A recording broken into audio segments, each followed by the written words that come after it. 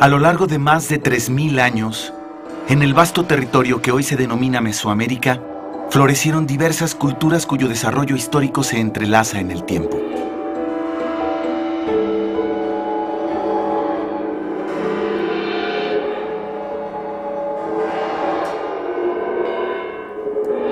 Estas culturas tuvieron como identidad y semejanza un profundo sentido de la vida espiritual.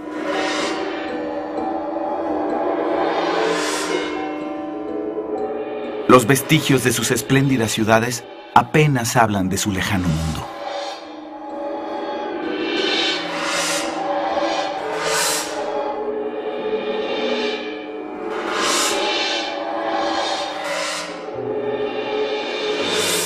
Entre los siglos XIV y XVI, los mexicas dominaron prácticamente toda la región desde su ciudad capital, la Gran México Tenochtitlan. La expansión de su imperio llegaría a su sangriento fin en 1521 en manos de los conquistadores españoles.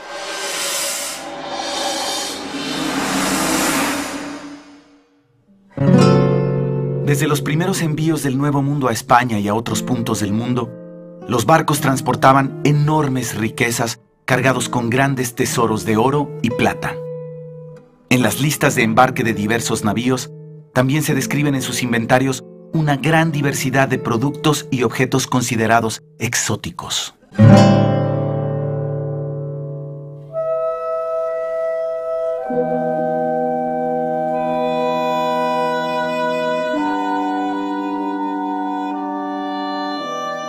75 años después de consumada la conquista española, en un castillo de los Alpes austriacos se hace mención de un inquietante objeto. Un sombrero morisco de bellas y brillantes plumas largas de color oro y verdoso, ascendiendo hacia su parte superior con plumas blancas, rojas y azules, adornado con laminillas y rosetones dorados que tiene en su frente un pico todo de oro.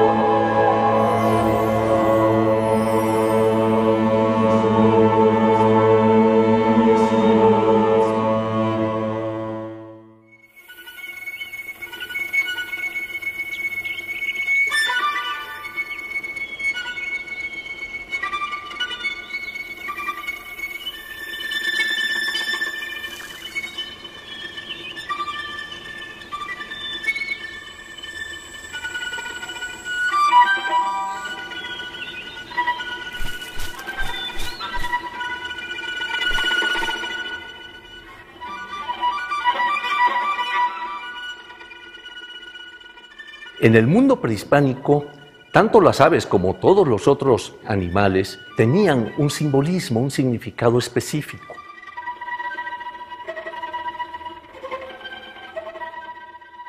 La importancia de las aves y sobre todo de su plumaje lo podemos observar en diferentes culturas mesoamericanas.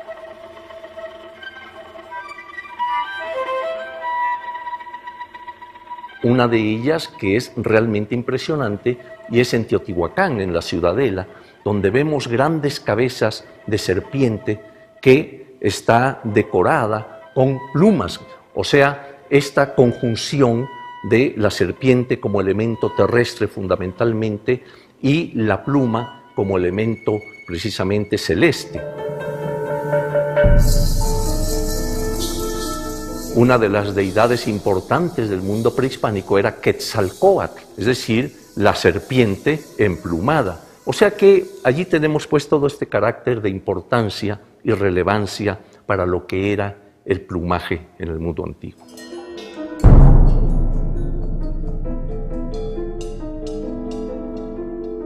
tendríamos que pensar que la pluma se convierte así en uno de los elementos más importantes para el simbolismo religioso y para el simbolismo de autoridad.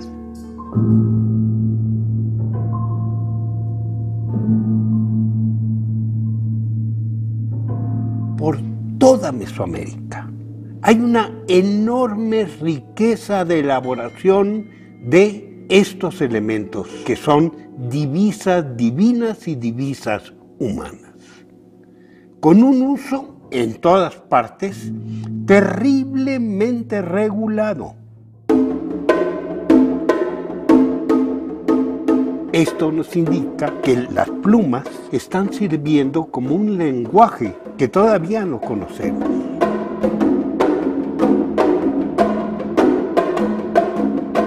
En todo el arte mural teotihuacano existe una gran cantidad de símbolos en que no es estrictamente lo que está indicándonos la figura.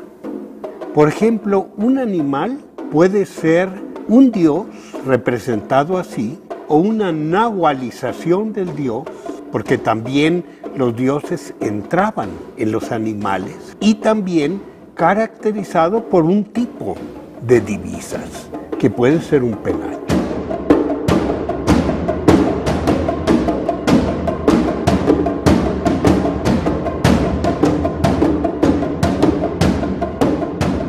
Hay deidades en las que se puede apreciar que también portan un penacho de largas plumas, como es el caso de Coyolxauqui, eh, en donde se le ve eh, con sus atavíos, sobre todo el adorno sobre la nariz y las mejillas, que le da nombre, ¿no? Y eh, porta este penacho. Esto está indicando tanto su categoría como deidad, pero además como una deidad belicosa, Coyolxauqui es una mujer, es la luna que va a entrar en combate contra el sol, contra Huichilopochtli. Entonces, pues, ella tiene este atavío como parte de sus atributos, ¿no? Porque en general, en la figura muy conocida de ella, vemos que está prácticamente desnuda, solamente porta un pequeño cinturón con una calavera en la parte posterior, pero eh, el único elemento que trae como adorno, aparte de sus ajorcas, sus pulseras, etcétera, y sus orejeras, desde luego, es este penacho también de grandes dimensiones.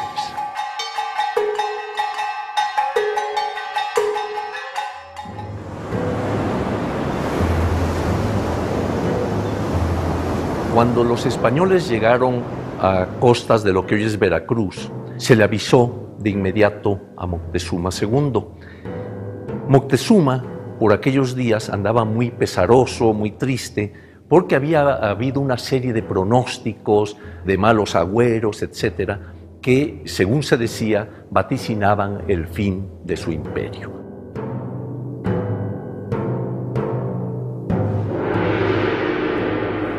Siempre se ha dicho que se vio en Cortés a Quetzalcóatl. Yo creo que en un principio quizá hubo algo de eso, pero pronto se dieron cuenta que no era así. Y las razones para ello es que Moctezuma quiso alejar a Cortés de su imperio.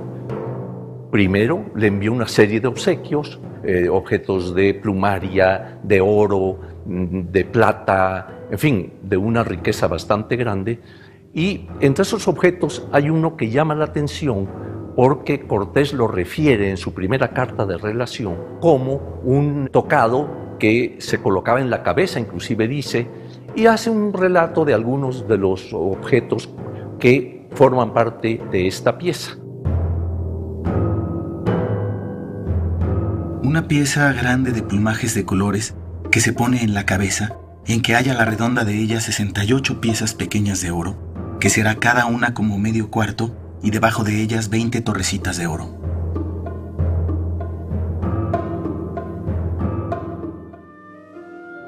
A lo largo de la colonia, los objetos elaborados con plumas que llegan de la Nueva España a Europa son numerosos.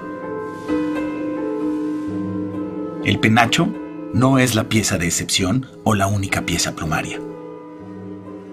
Genau Buch geführt, aber sehr wenige haben sich erhalten. Viele sind fragile Objekte, es ist ein fragiles Material, deswegen äh, sind viele im Laufe der Jahrhunderte kaputt gegangen.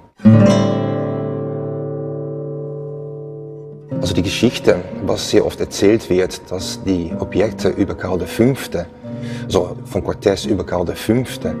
zum Erzherzog gekommen sind, das ist ein Mythos, das wird noch immer bis heute erzählt, aber das ist wissenschaftlich nicht bewiesen. Also wie die Objekte nach Wien gekommen sind, ist teilweise klar. Vorher waren sie im Schloss Ambras ausgestellt, in der Kunst- und Wunderkammer vom Erzherzog Ferdinand II. von Tirol. Wie sie aber nach Ambras gekommen sind, das ist teilweise ein Rätsel.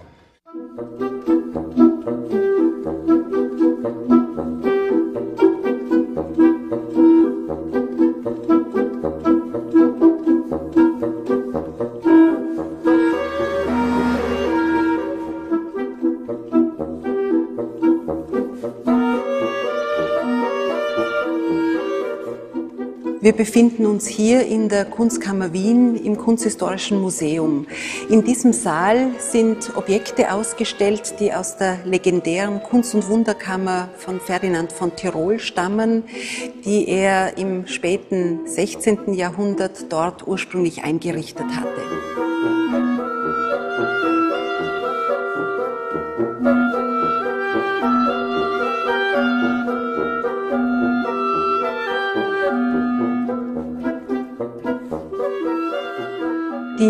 Kunst- und Wunderkammer von Ferdinand von Tirol war eine der ersten Sammlungen dieser Art nördlich der Alpen.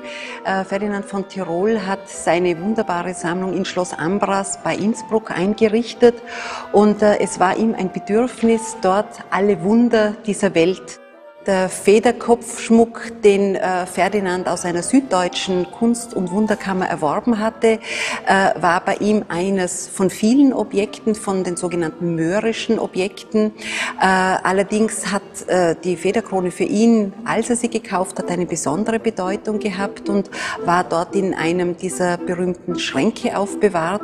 Allerdings über die Jahrhunderte hat insgesamt die Ambrasser Sammlung weniger Aufmerksamkeit erfahren. Äh, Kaiser Rudolf II. hat sie ja nach dem Tod von Ferdinand von Tirol gekauft, allerdings in situ belassen. Und dort ist eben auch der äh, Federkopfschmuck für sehr lange Zeit geblieben. Und äh, diese eher unbeachtete Existenz in Schloss Ambras hat wahrscheinlich auch dazu geführt, dass der Federkopfschmuck heute noch erhalten ist.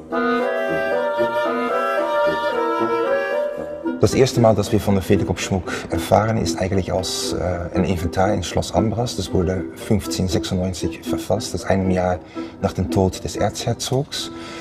Äh, dann wurde eigentlich seine ganze Sammlung inventarisiert. Und in dieser Inventarliste wird der Federkopfschmuck und auch die anderen mexikanischen Federarbeiten in Schloss Ambras zum ersten Mal erwähnt. Als der Federkopfschmuck in Ambras war, im ab 1596, äh, vielleicht ab 1590, gehörte zu diesem Federkopfschmuck noch ein, äh, ein goldener Schnabel. Also der Kopfschmuck hat irgendwie den Eindruck vermittelt, dass ein Vogel dargestellt wurde. Dieser goldene Schnabel, leider, äh, verschwindet aus dem Ambrasser Inventar im Laufe des 18. Jahrhunderts. Also irgendjemand hat diesen Schnabel, diesen goldenen Schnabel, wegen irgendwelchen Grund entfernt, wahrscheinlich umgeschmolzen.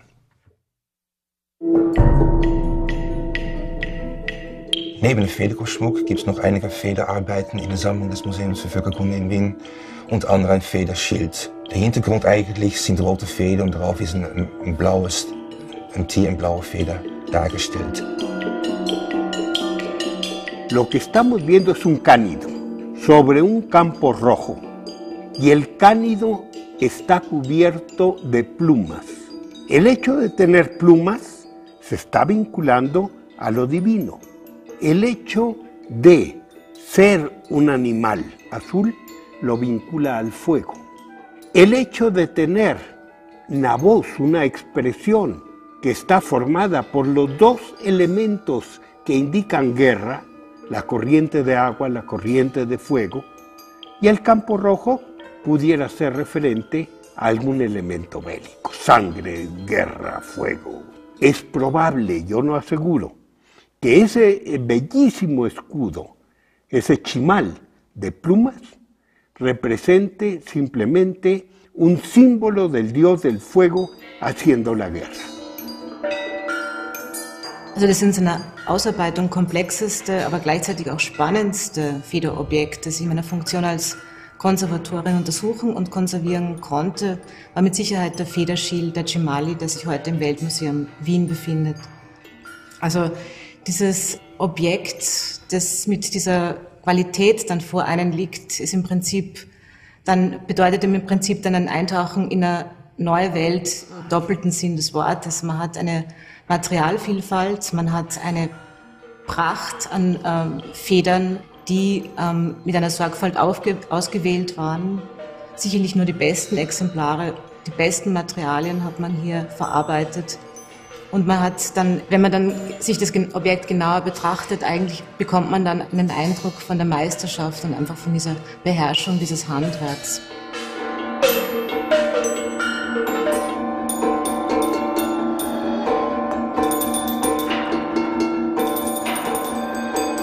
Und ähm, das Ganze dann akzentuiert durch diese Metall-Goldblech-Applikationen bewegen würde. Also wenn man sich dann überlegt, diese Schilde waren ja eine Benutzung, die waren ja keine statischen Objekte, die man im Museum als zweidimensionale Objekte betrachtet hat, sondern die waren wirklich in Verwendung. Man hat sie getanzt, man hat sie getragen, man hat sie während zeremonieller Feste eben in Verwendung gehabt. Besondere Würdenträger konnten diese kostbaren Objekte besitzen. Estos chimalis o rodelas, el chimali significa un escudo redondo, se utilizaron no solo en la guerra en la época prehispánica, se utilizaron mucho en la colonia, sobre todo en los primeros tiempos de la colonia. Obviamente son muchos de los mismos usos de los ejércitos que iban a todas partes con los españoles, incluso a coadyuvar en la conquista.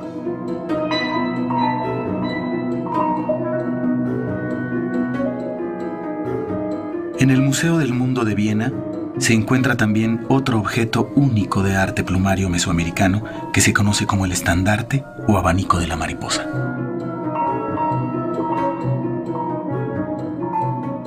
De Federfächer oder vielleicht eine Standarte stammt aus der Kolonialzeit, das nicht präkolumbisch, denn die Darstellung eines Schmetterling im Zentrum ist nicht die Art und Weise, wie früher die Mexikaner Schmetterlinge dargestellt haben. Das ist ein Adaptierung eines europäischen Schmetterlings. Und deswegen wissen wir, dass es schon unter Einfluss oder in der Zeit der, nach der Ankunft der Spanier dargestellt worden ist. Die Federkunst ist lange Zeit im 16. Jahrhundert weitergeführt worden.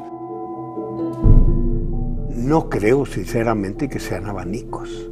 Tienen todas las características de ser elementos de prestigio o de guerra. Son elementos que están indicando un escuadrón o que están indicando una jerarquía.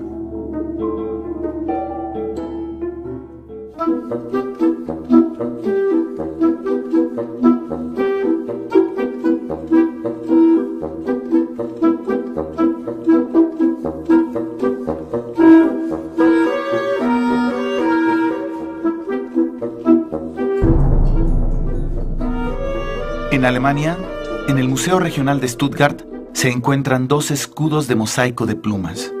Estos no tienen aplicaciones de oro. Also sie sind für uns von ganz zentraler Bedeutung. Einerseits wegen ihrer Singularität. Es gibt ja nur noch weltweit vier und wir äh, freuen uns, dass hier zwei so gut erhalten sind. Und sie zeigen eben sehr gut, äh, wie man versucht hat, diese Exotika aus der neuen Welt in die Kunstsammlungen und in die Wunderkammern aufzunehmen, um eben diese exotischen, fremden Kulturen auch äh, zu belegen und darzustellen. Erwähnt wurden sie schriftlich in einem Miniaturzyklus, ähm, der 1599 angefertigt wurde und ein Festzug äh, der Königin Amerika hier in Stuttgart anlässlich der Fastnachtsfeierlichkeiten ähm, durchgeführt wurden. Da sind sie abgebildet, aber sie sind nicht ausführlich beschrieben. Erwähnt werden sie dann erst 1809 im Inventar. Von der Vorderseite würde ich sagen, dass sie im Vergleich mit der frühen Darstellung eben noch so in diesem Zustand erhalten sind. Die Farben haben sich an manchen Stellen äh, sicherlich geändert. Ähm, aber was auf der Rückseite eventuell fehlt, das wissen wir nicht. Die Federschilde wurde, wurden 1809 erstmals im Inventar der Kunstkammer erwähnt. Dort wurden sie als Erwerbung bezeichnet und sie kamen aus dem säkularisierten Schloss Weingarten äh, hierher nach Stuttgart und sind seitdem Bestandteil der Sammlung des Landesmuseums Württemberg nicht direkt, aber wir haben Rechnungen und auch äh, Reisebuch, äh, Tagebuchaufzeichnungen, die äh, belegen, dass schon früher äh, um 1600, 1602 und 1607 immer wieder indianische Objekte hier nach Stuttgart gekommen sind, um in die Wunderkammer äh, zu gelangen. Das waren äh, indianische Dinge, teilweise auch indianische Kleidung mit Federn, so wurde es dann beschrieben. El eh, simbolismo de la greca sobre un chimali es muy, muy común. No nada más de Mesoamérica, sino más allá de Mesoamérica. Aquí se le ha llamado greca escalonada y anteriormente recibía el nombre de Xicalcoliuqui. Hay muchas representaciones en los códices indígenas de escudos de chimalis que llevan la greca escalonada o el chicalcoliuqui como elemento principal o total.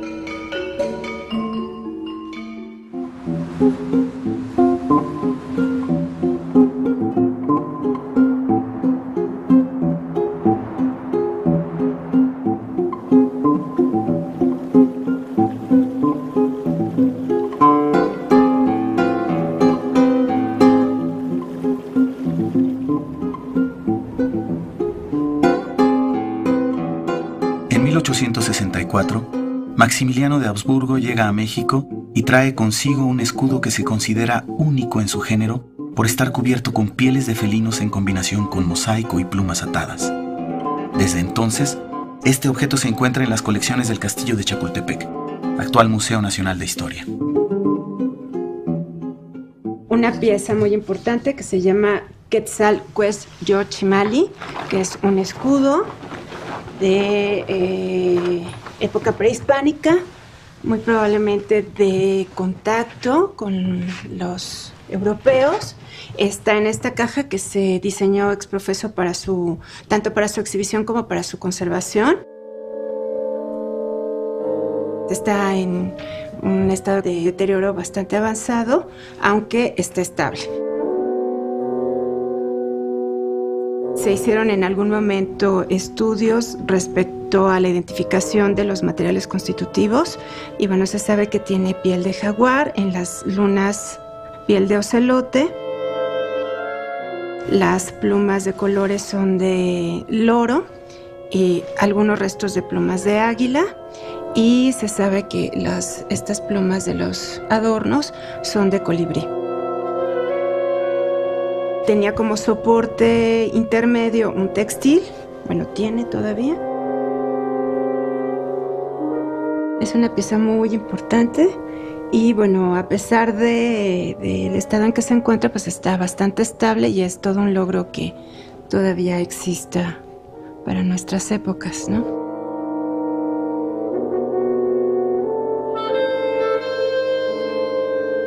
Uno de los elementos de este escudo es un glifo muy común que es en forma de media luna. Esta media luna es muy utilizada en toda la, geografía mesoamericana. Hay un adorno que se llama Yacametzli, quiere decir nariguera lunar.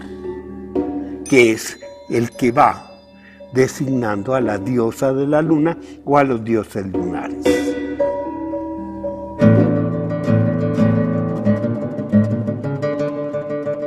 Es posible que este escudo haya inspirado a los artistas del siglo XIX, en cuyas creaciones plásticas se exalta un pasado glorioso, ya perdido.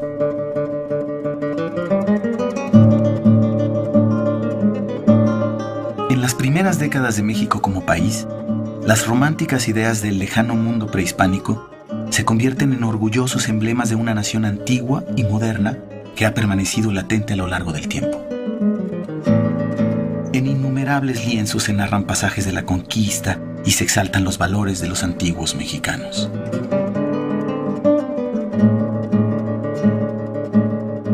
En esculturas se plasman los símbolos de la ancestral cultura, particularmente aquellos de los que se tiene referencia, como los vestigios arquitectónicos de las majestuosas pirámides y ciudades mesoamericanas.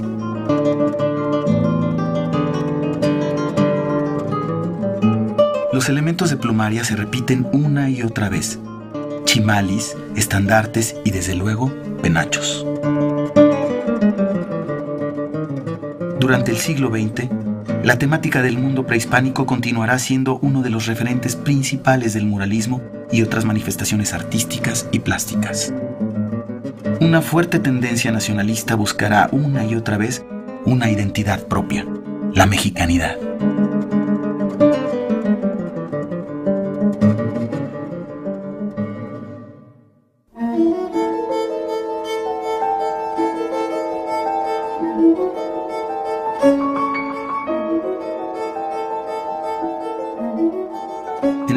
Nacional de Antropología se encuentra lo que se cree fue el centro de un chimali, ya que hay evidencias de que fue cortado.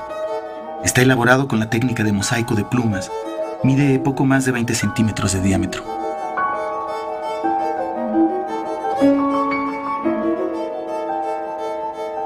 Se trata de una figura muy, muy acuática, en la que están representadas las aguas, no nada más como corrientes continuas, sino como remolinos.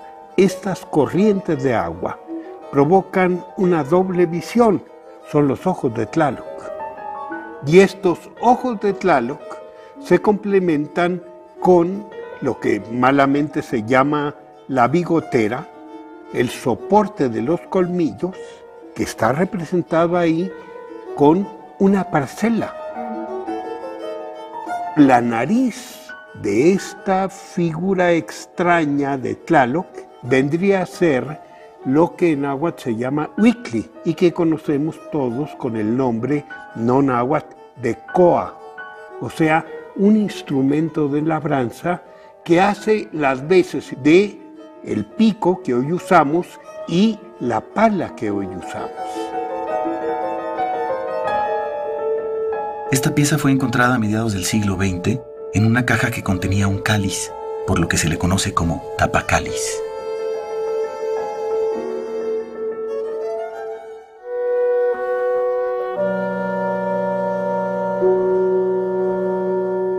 En la década de los años 40 del siglo XX, durante la construcción de edificios en los terrenos de lo que fue el recinto sagrado de Tenochtitlan, múltiples objetos de gran valor fueron rescatados. Entre ellos destaca el mango de un abanico tallado en madera.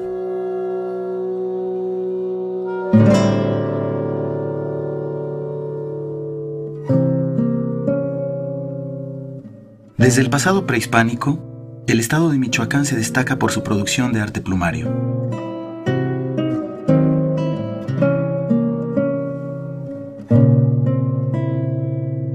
En 1999, los amantecas contemporáneos Gabriel y Guillermo Olay, padre e hijo de una dinastía de artífices de la pluma, que encuentran su origen en el siglo XIX, aderezaron este mango con plumas de perico y colibrí.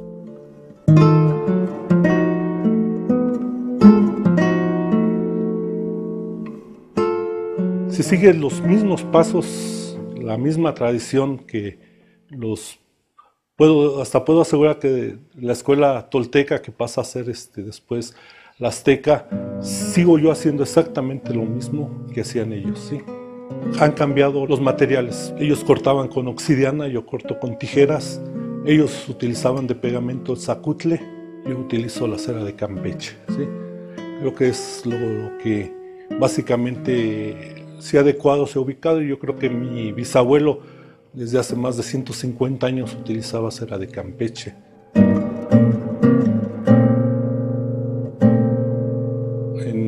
México Antigua, con los amantecas, cuando uno se convertía en un oficial de pluma, pues ya era un grado de, técnica y conocimiento de la pluma.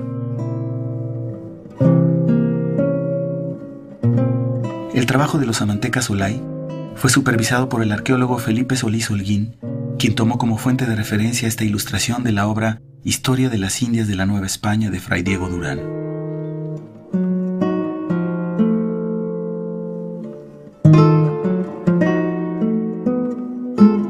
Exhibe en el Museo Nacional de Antropología.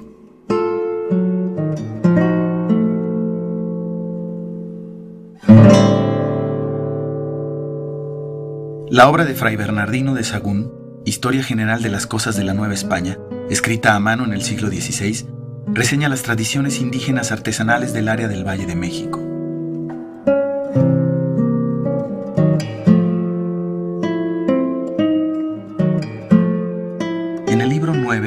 Las descripciones e ilustraciones plasman el complejo y minucioso trabajo de los amantecas, diestros artífices que dominaban el arte de la plumaria.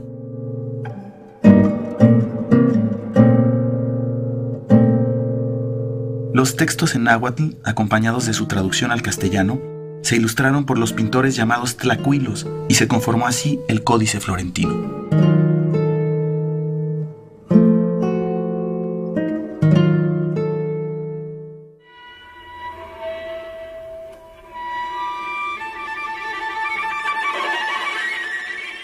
Museo Nacional de Antropología se exhibe la reproducción del penacho que elaboró entre los años de 1939 a 1940 el artista Francisco Moctezuma. Basándose solamente en algunas referencias y descripciones del penacho de Viena, el Amanteca logró una pieza de gran similitud al original, tanto en la cantidad de elementos que lo componen como en sus dimensiones.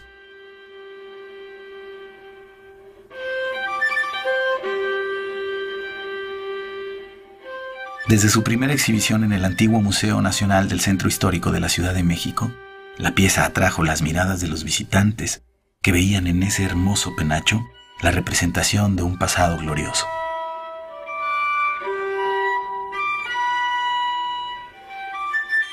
Si bien las técnicas de su manufactura difieren, el resultado es igualmente espectacular, ya que se utilizaron plumas de quetzal y las aplicaciones metálicas, al igual que el original, también son de oro.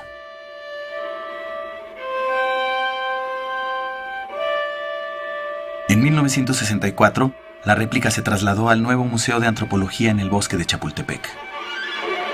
Esta pieza de enorme calidad ha sido desde entonces un referente fundamental para el público que acude a visitar el museo.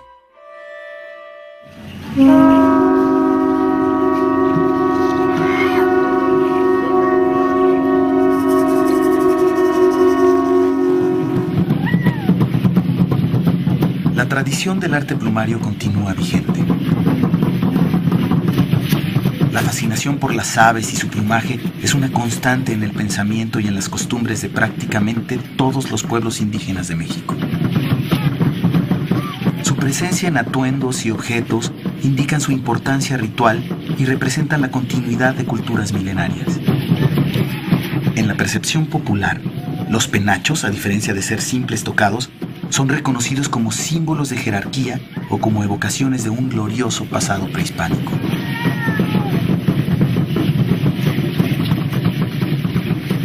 El penacho se ha convertido en una especie de símbolo para pues, un buen número de mexicanos. Es decir, se ha estado solicitando, inclusive el gobierno mexicano solicitó en algún momento a Austria que se regresara a México. Y ven en él muchas gentes, pues, eh, digamos, ese, ese símbolo del mundo prehispánico. La biografía documentada del penacho en Europa se inicia en 1596, al ser descrito en el inventario de la sucesión de Fernando II del Tirol, ya que formaba parte de lo que se conoce como la colección del Castillo de Ambras.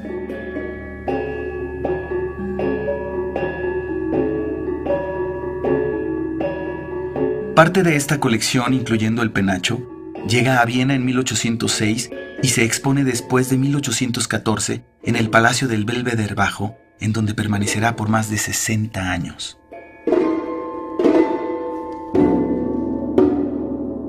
Posteriormente, parte de la colección de Ambra se traslada al Museo de Historia Natural de Viena y el penacho se exhibe por primera vez en ese recinto en 1889.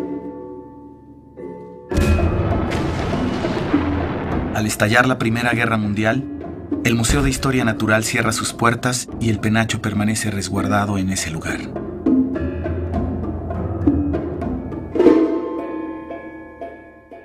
En 1918, las colecciones etnográficas se retiran del Museo de Historia Natural y se trasladan al Museo de Etnología de Viena, que se inauguraría 10 años después.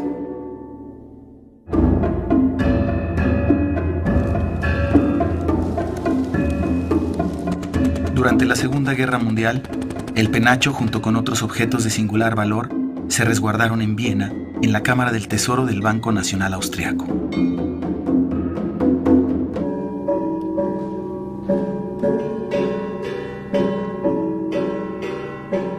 Al término de la Segunda Guerra Mundial, el penacho viaja por única vez fuera de Austria.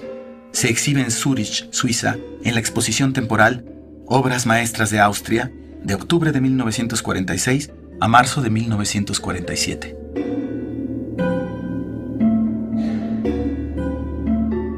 Al término de la exposición regresa al Museo de Etnología y desde entonces el penacho permanece en Viena.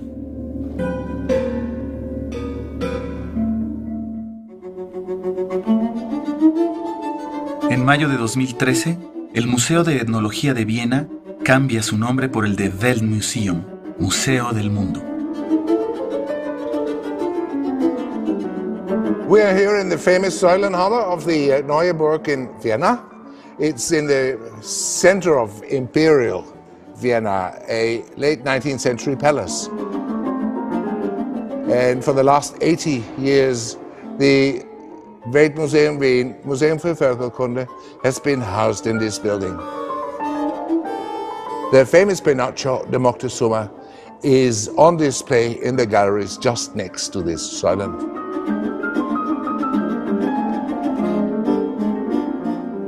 Over the last few years, there was a fantastic research project of Mexican scholars and restorers and Austrian scholars and restorers in this museum um, studying and restoring the Pinacho de Moctezuma. It was the first time that a team from both countries, both cultural owners of the Pinocchio, so to say, that they worked together intensely and came up with all the relevant information that scholarly research can bring forward and put the Pinocchio, the very fragile Pinocchio, into a state again that it could be put on display.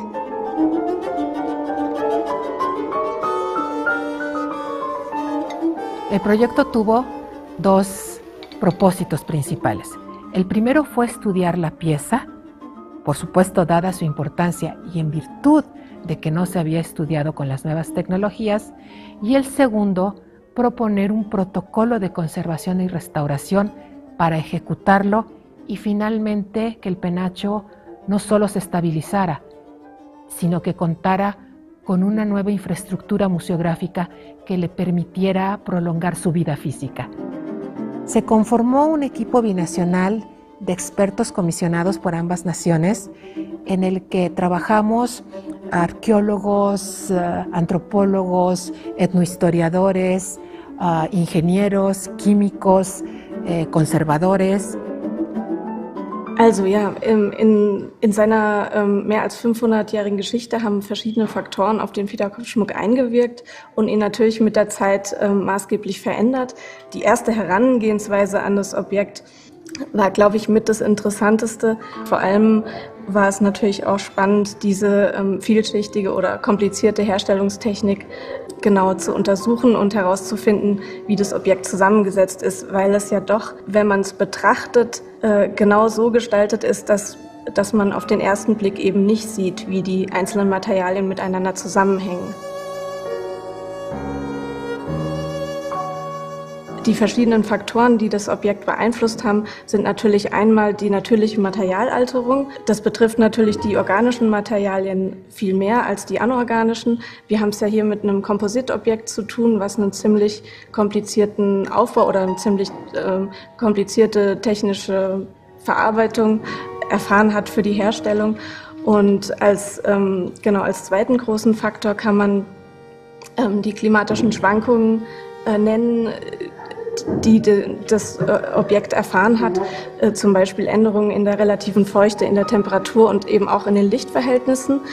Als äh, dritten großen Faktor, den man auch sofort, wenn man das Objekt etwas näher betrachtet, der einem sofort ins Auge fällt, ein ehemaliger Befall mit Insekten und die heute sichtbaren Schäden. Und das bedeutet eben, dass jetzt zum Beispiel in dem, im, im Fall für die äh, grünen langen Federn natürlich die Substanz stark geschädigt wurde durch Insektenfraß. Das heißt, wir haben halt heute sehr viele Fehlstellen in den Federschäften, in den Federfahnen und eben auch in der Feinstruktur. Und das führt natürlich zu einer erhöhten Bruchanfälligkeit ähm, des, des Materials, also des Federmaterials in dem Falle, und äh, destabilisiert das ganze Objekt von Grund herauf.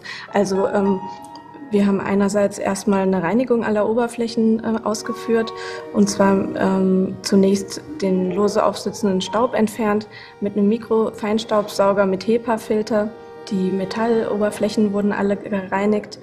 Die Reinigung hat sich natürlich ähm, hauptsächlich auf die Vorderseite konzentriert. An der Rückseite haben wir nur partiell reinigen können in den Bereichen, in denen wir eben ähm, stabilisierende Eingriffe vorgenommen haben.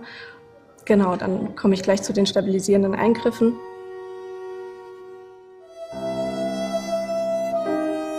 La observación de la cara posterior del penacho muestra una red en forma de gorro, a la que se ataron secuencias de plumas de ala de quetzal que posiblemente evocaban la cabeza del ave.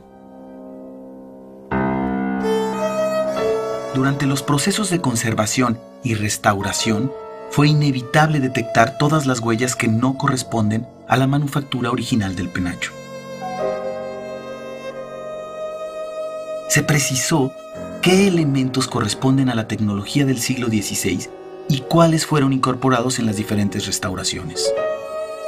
Si bien el penacho ha sufrido una serie de intervenciones, ninguna tan importante y tan representativa como la que se hizo en 1878.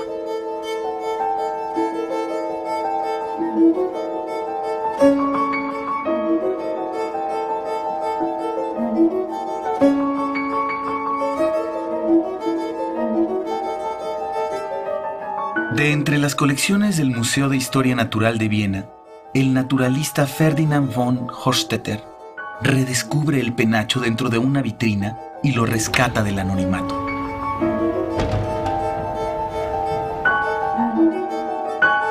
Basándose en códices prehispánicos, este investigador deduce que se trata de un estandarte y se inicia una drástica restauración que marcó la condición física del penacho para siempre. La restauración se realiza conforme a los cánones de la época que daban prioridad al lucimiento formal y bajo el supuesto de que se trataba de un estandarte abierto en forma de abanico. Esta intervención se pudo tipificar a partir de las huellas físicas que dejó.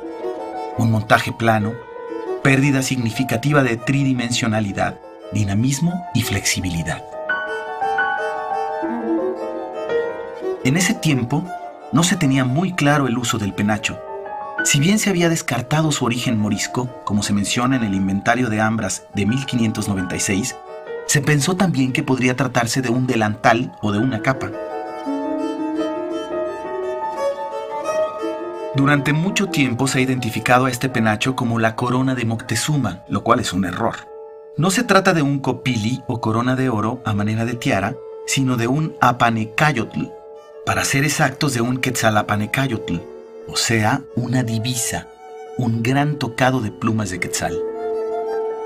dass Moctezuma und auch seine Vorgänger, aber auch andere Herrscher von Stadtstaaten im jetzigen Mexiko nicht mit dem Federkopfschmuck äh, gekrönt wurden sozusagen, kennen wir auch äh, nicht nur als Erzählungen, aber das wurde auch bildlich festgelegt von Mexikanern als ursprüngliche indianische Handschriften, sogenannte Kodizes,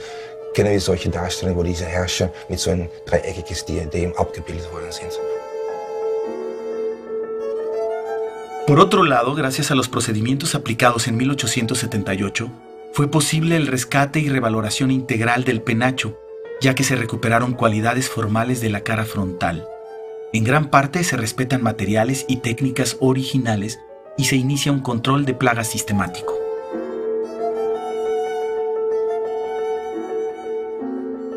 Todas las áreas azules, incluida la primera banda o diadema, corresponden a pellejos de pájaro martín pescador que se colocaron en 1878. Este procedimiento se aplicó para cubrir los restos de plumas originales que habían sido destruidos casi en su totalidad por infestación de insectos. En estas fotografías de microscopio se pueden apreciar fragmentos del mosaico original de plumas azules de ave cotinga amabilis, que aún perduran debajo de los pellejos del martín pescador.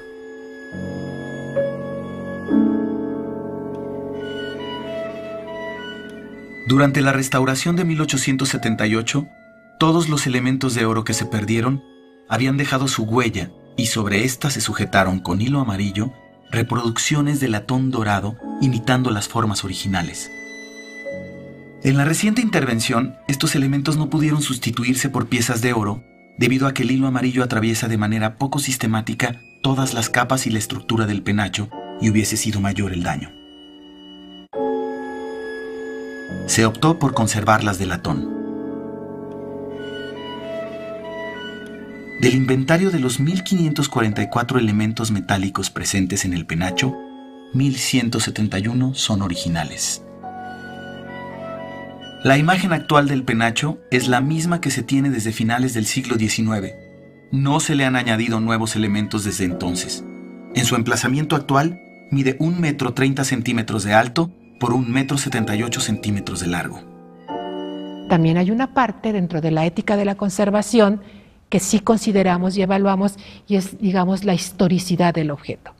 El penacho tiene una biografía que se ha escrito durante 500 años y esa biografía, ese ente, esa integridad es la que conservamos ahora en el 2012.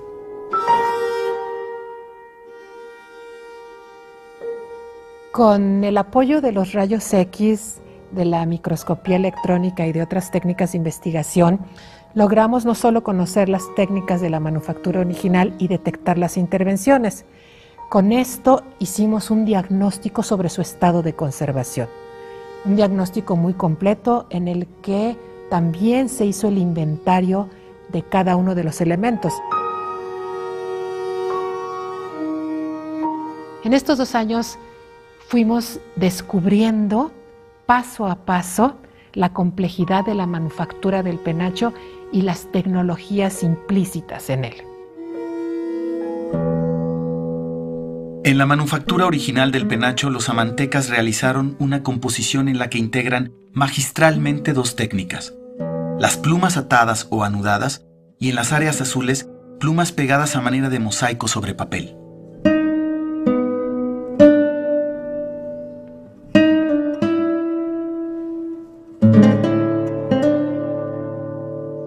Para que los amantecas, artífices plumarios, pudieran tener a la mano lo necesario y crear esta valiosa pieza, otros artesanos tuvieron que preparar con antelación una serie de materiales.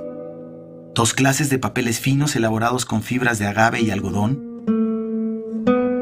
palos y varillas con características específicas, fibras e hilos de agave y algodón con diversidad de largos, torsiones e hilados.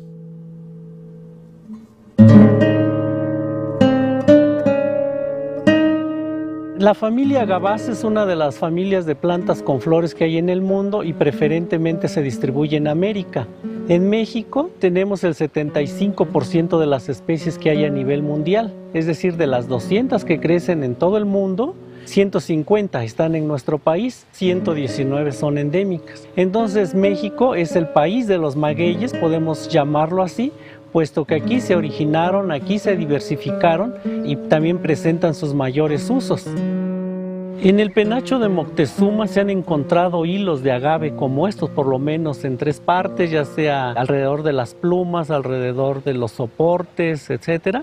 Y entonces son hilos de diferentes grosores, seguramente de, eh, de este tipo. Y los hilos que se llegaron a utilizar muchísimo en la época prehispánica fueron aquellos que se sacaban de agave salmiana porque nos daban gran plasticidad, podíamos tener hilos desde muy suaves hasta hilos eh, duros, vastos y, son fibras muy largas. Entonces seguramente hilos como de este tipo, este estos hilos que están aquí son precisamente de agave salmiana y que sean posiblemente los hilos que están en el penacho de Moctezuma, que en, la época prehispánica se explotaban para muchas cosas, por diferentes etnias, no solo los nahuas, sino también los ñañús, los mixtecos, los zapotecos. De hecho, la mayoría de las etnias del centro de México los utilizaban con diferentes fines. La precisión de las manos que hicieron nudos simples y simétricos dio como resultado dos redes con una retícula fija sorprendentemente uniforme. La primera red tiene forma de abanico y la segunda es trapezoidal,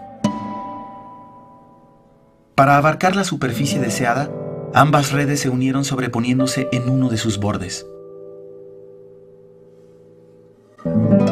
Como buenos conocedores de las propiedades de los materiales, los amantecas fortalecieron una serie de varillas envolviéndolas totalmente con fibras de agave y posiblemente las adhirieron con pegamentos de origen vegetal provenientes de orquídeas. Este adhesivo se conoce con el nombre de Southly.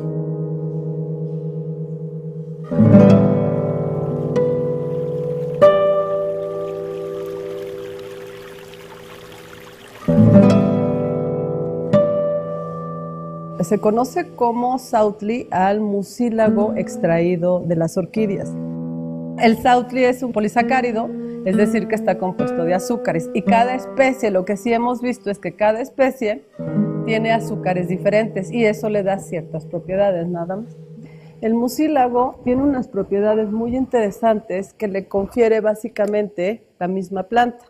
La orquídea desde que nace necesita de varios em, nutrientes y sobre todo de mucha humedad, humedad que ella almacena y que reserva. Cuando nosotros extraemos la película, la podemos obtener así o en polvo y ah, después lo que nosotros hacemos es solamente rehidratarla. La película ya rehidratada se ve así y con esto se puede utilizar para adherir las plumas o para restaurar telas antiguas.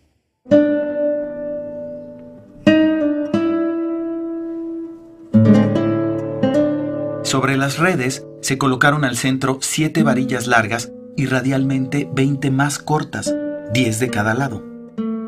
Todas las varillas se sujetaron a las redes de manera equidistante. Dos palos largos, envueltos parcialmente con la fibra, se colocaron en paralelo y se unieron por medio de cuatro travesaños. Este sistema doble mantiene a las varillas en una misma posición y a la vez permite la flexibilidad general de la pieza. La red en forma de abanico envuelve la primera y última varillas. A la estructura se le añadieron en ambos lados dos varillas gruesas envueltas en sus extremos superiores con fibras.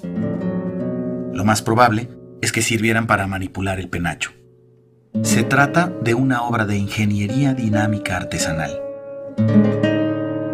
Su construcción y técnicas de manufactura originales estaban diseñadas a prueba de uso. Se podía manipular, doblar y mover con rangos de amplitud considerables sin que una sola de sus plumas o laminillas de oro se desprendieran. Las volátiles plumas, además de ser sumamente atractivas a la vista y al tacto, son bioestructuras que pueden ser resistentes y flexibles. Cuatro especies fueron las portadoras principales para la confección del famoso penacho. Hablaríamos como una primera instancia de Cotinga amabilis que proporcionó este color azul turquesa y que tiene su garganta y vientre color púrpura. Eh, menciono al macho porque de la hembra no hay evidencia de su presencia.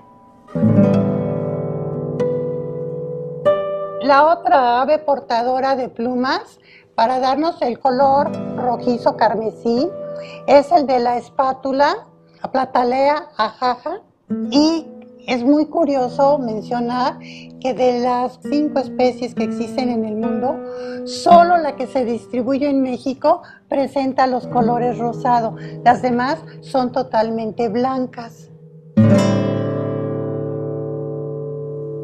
Luego los colores café terroso pudieron provenir particularmente del pájaro vaquero, o también conocido pájaro ardilla porque brinca de árbol en árbol buscando su alimento y es piaya cayana. Sus plumas de la cola larga, café canela, son las que están entrelazadas para formar las secuencias en las hileras de plumas del tocado de las cuales descansan las plumas del quetzal que en mi opinión fueron tomadas algunas de ellas del ala del quetzal y desde luego las largas caudales del macho. Fueron seleccionadas para formar los diferentes niveles que constituyen el tocado. Todas las plumas fueron cuidadosamente seleccionadas. Debían tener la longitud deseada y conservarse en buen estado eran tan preciadas como el oro, la turquesa o el jade.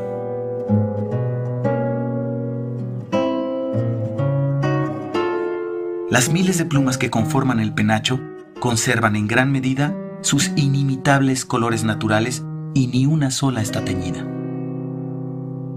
Siguiendo un programa de construcción y diseño en el que se tenían previamente definidos los cuerpos central y principal, se dio paso a los procesos de ornamentación.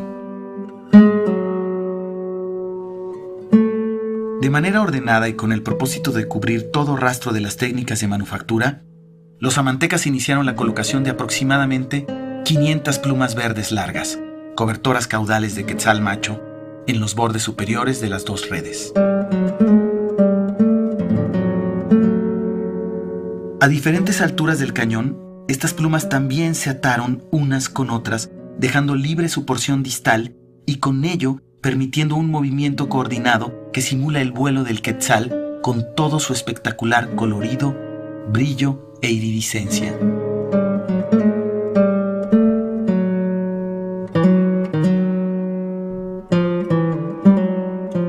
La lógica general de ornamentación consiste en que en su eje horizontal la incorporación de elementos se hizo del centro hacia los extremos, alternando los costados derecho e izquierdo.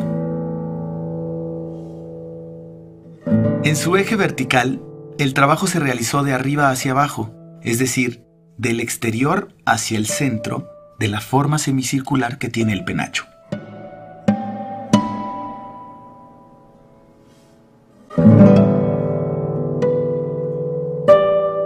Reposando sobre las redes, las plumas café canela de la cola del pájaro vaquero, Piaya cayana, se colocaron en toda su longitud, tanto en el cuerpo central como en el principal.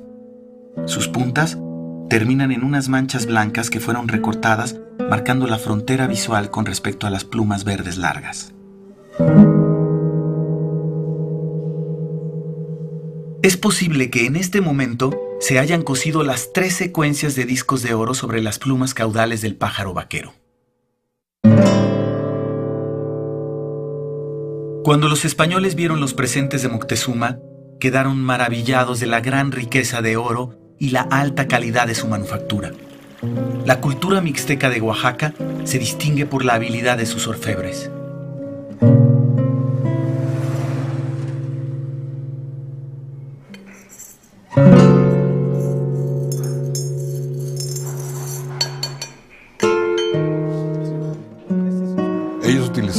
Crisoles de cerámica, crisoles de barro, al fundirse los metales alcanzan temperaturas muy altas.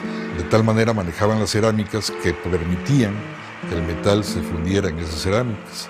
Se ponían estas tierras que recogían de los ríos que contenían los metales, se ponían en estos recipientes, en estos de barro, y ayudados simplemente por la boca, por sopletes manuales y por orificios de entrada y salida de aire, permitían que de alguna manera se alcanzasen esas temperaturas para fundir los metales. El caso del penacho, la técnica que se utilizó para elaborar esas piezas es el martillado. Es un martillado eh, que básicamente adelgazaban la lámina a un grosor que les permitía hacer las figuras que ellos pensaban.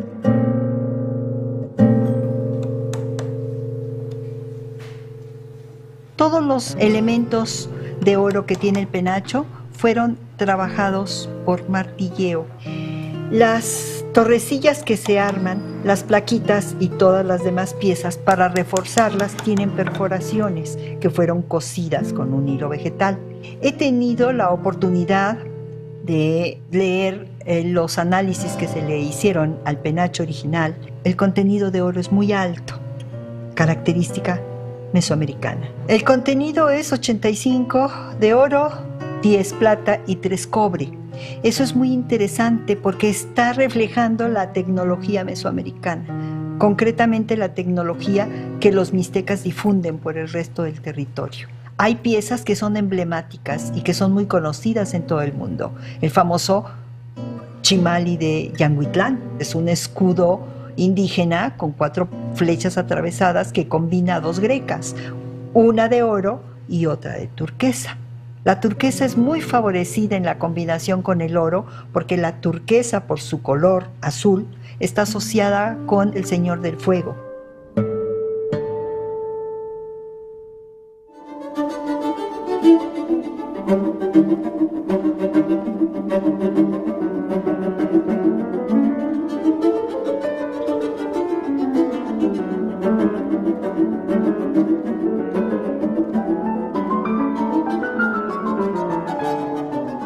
Das äh, binationale Forschungsteam wollte den altmexikanischen Federkopfschmuck in allen Aspekten tiefgreifender arbeiten, sowohl was den äh, historischen Befund an, an, anbelangt, die Provenienzgeschichte anbelangt, aber vor allem auch was den physischen äh, Befund des Objektes anbelangt.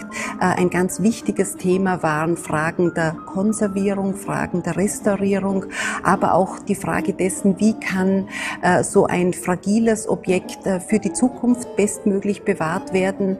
Äh, unter welchen Bedingungen muss äh, ein solches Objekt aufbewahrt werden? Kann es einem Publikum zugänglich gemacht werden? Und natürlich auch die Frage, kann ein Objekt, das natürlich auch für das mexikanische Publikum von aller, allerhöchstem Interesse ist, ist es möglich, dieses Objekt auch temporär nach Mexiko zu bringen, um es dort im Museum ausstellen zu können, bevor es dann wieder zurückgeht nach Österreich, ist dies möglich. Und für den Fall, dass ein solcher Transport möglich wäre, äh, haben wir dann natürlich auch schon äh, gewusst, dass auf anderen äh, Expertenebenen auch rechtliche und andere Fragen. No importa si es el penacho de Moctezuma o no es, no importa si salió por regalo, por robo o como haya sido, no importa nada de eso, donde esté un objeto que sea anterior a la llegada a la conquista española, vamos a estar ante un objeto que es patrimonio nacional. O sea, no por el hecho de que hayan salido, por decir así, vayan a perder ya su carácter de bienes patrimoniales mexicanos.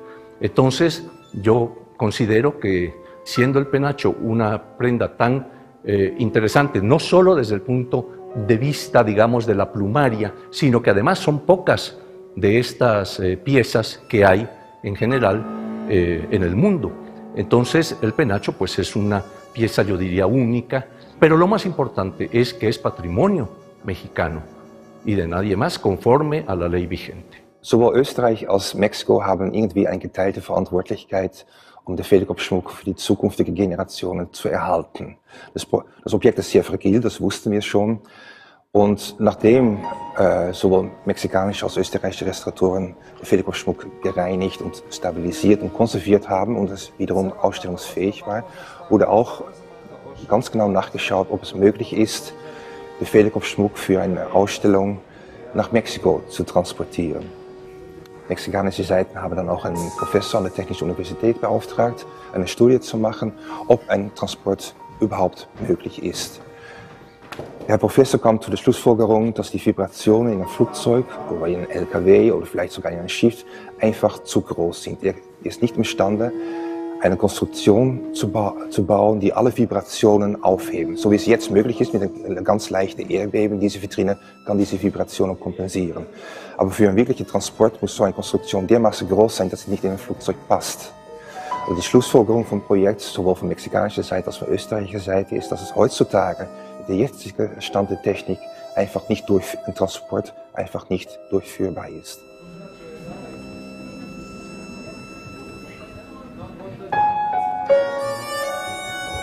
Si algún día el penacho regresara eh, para quedarse en su lugar de origen, eh, quienes deben dictaminar eh, el estado en que está serían precisamente restauradores, restauradores que eh, sobre todo quienes han hecho ahora el trabajo de, eh, de restauro en la pieza misma, ¿no?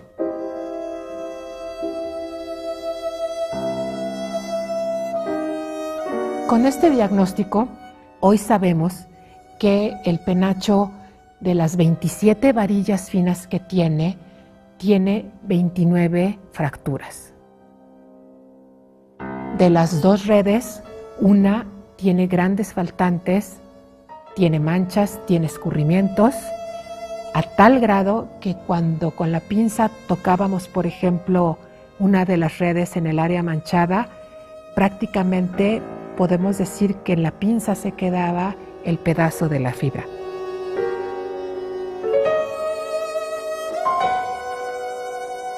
De los elementos metálicos, 98 se encontraban sueltos sobre la pieza, podíamos tocarlos y separarlos de la pieza, los amarramos, hicimos muchas pruebas con hilos de algodón, con hilos de seda. También hicimos el diagnóstico de las plumas, más de 100 se encontraban eh, fracturadas y muy mal atadas. Todo esto lo que nos habla es de un diagnóstico de estado de conservación de un objeto elaborado básicamente con materiales orgánicos, que ha sufrido traslados, almacenamientos, guerras, rapiña. El penacho tenía un pico de oro originalmente. Ja, generell weist der Federkopfschmuck einen sehr fragilen Erhaltungszustand auf und das liegt natürlich einerseits an, dem Alter, an seinem Alter und andererseits an, ähm, an der fragilen Struktur von, von den gealterten Federn oder von der, dem äh, kompletten gealterten organischen Material.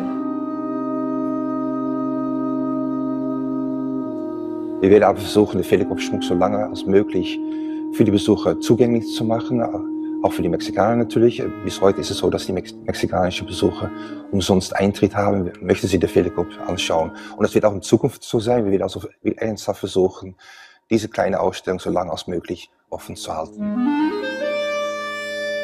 Aber die Vitrine, wo ja jetzt ausgestellt ist, wird auch in Zukunft äh, zu sehen sein. Diese Vitrine ist wirklich noch up-to-date, letzte technische Standards. Und diese Vitrine wird gehandhabt werden. Aber der Federkoschmuck wird prominent in der Ausstellung vertreten sein. Um, we have a fairly large collection of Mexican material, both ancient and, and recent material. And for us, it's extremely important to tell the stories about Austria and Mexico with these collections in collaboration with our colleagues from Mexico.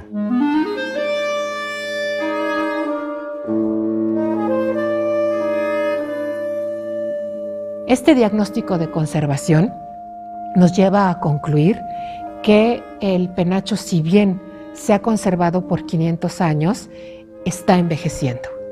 Está envejeciendo no a paso acelerado, vamos a llamar en un proceso natural y que con la restauración que concluimos en el 2012 podemos pensar que cuando menos va a vivir 500 años más.